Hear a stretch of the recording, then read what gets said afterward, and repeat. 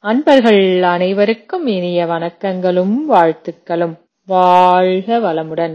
இன்றைய சிந்தனையின் தலைப்பு சிக்கலும் தீர்வும். வாழ்க்கை சிக்கல்கள் பல காரணங்களால் விளைகின்றன. பெரும்பாலும் தன் அறிவில் உள்ள குறைபாடுகள்தான் வாழ்க்கை சிக்கல்கள் விளைய காரணமாகின்றன. எப்படி என பார்க்கலாம். அறிவின் குறைபாட்டினால் இயற்கை நியதி தெரிவதில்லை. செயல் விளைவு தத்துவம் புரிவதில்லை. தவறு செய்தால் இன்றோ நாளையோ அறிவிற்கோ உடலுக்கோ துன்பம் விளையும் என்பது தெரிவதில்லை. இத்தகைய அறியாமையால் செய்த தவறுகளின் காரணமாக பெருக்கிக் கொள்ளும் துன்பங்களே வியாதிகளாகவும் வாழ்க்கை சிக்கல்களாகவும் நம் முன் எழுந்து நிற்கின்றன.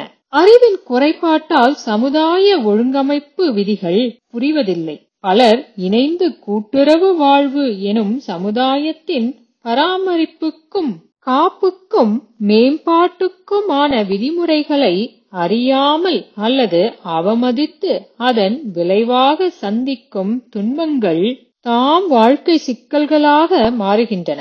பிறப்புக்கும் இறப்புக்கும் இடையில் உருளும் வாழ்வு எனும் காலகட்டத்தை கடந்து கொண்டிருக்கும் நான் யார் என்ற தெரிவதில்லை. என் மூலம் என்ன என் முடிவென்ன என்பதை விளங்கிக் கொள்வதில்லை. தன்னிலை விளக்கம் பெற வேண்டும் என்று கூட தெரிவதில்லை. அதன் விளைவாக வாழ்வின் பிறப்பின் நோக்கமாகிய வீடு பேறு என்ற உன்னதமான லட்சியத்திற்கு இசைவான வகையில் வாழும் முறையை அமைத்துக் கொள்ளாமல் அந்த லட்சியத்திற்கு இடையூறாக எதிரிடையாக என்னென்ன வழிகள் உண்டோ அப்படியெல்லாம் வாழ்வதால் அந்த முரண்பாடே வாழ்க்கை சிக்கலாக முளைக்கிறது. தன்னிலை விளக்கம் பெற்று லட்சிய வாழ்வு வாழ்வோம். இதை அருளித் தந்த வேதாத்ரி மகரிஷி அவர்களுக்கு நன்றிகள். வாழ்க வையகம்.